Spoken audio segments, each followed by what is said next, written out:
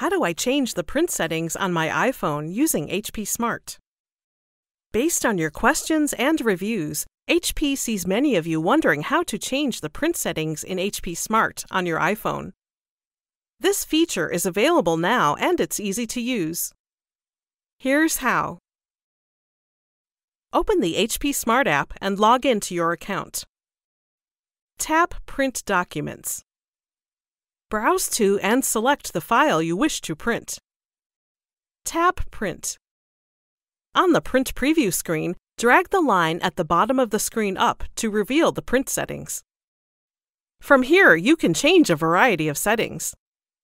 For example, if you would like to change the number of copies, tap the plus or minus symbols next to Print Copy.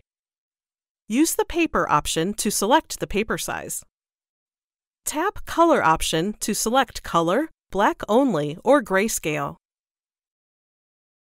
Tap the back arrow at the top left to return to print settings. Tap Page Range to choose which pages you would like to print.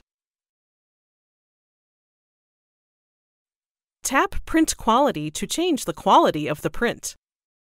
For double-sided prints, tap two-sided and choose from either short edge or long edge.